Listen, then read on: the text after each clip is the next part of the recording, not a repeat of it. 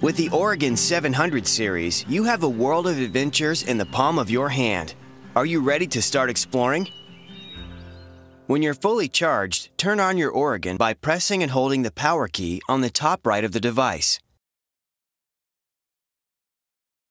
When the unit comes on, it will ask you to select your language.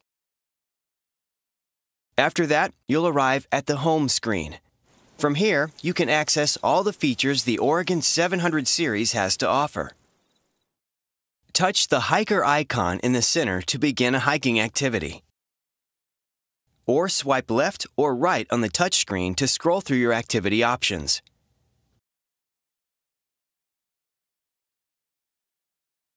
Press the power key on the right side of the device to open up your apps. Tap the magnifying glass to access navigation features like points of interest, waypoints, and more.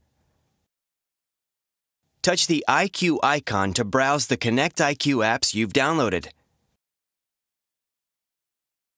Tap the menu icon to access device settings. You can lock the touchscreen to prevent accidental touches. Just press the power key, then select the lock icon. Thanks for watching. For more guidance on using your Oregon 700 series device, watch the other videos in this series.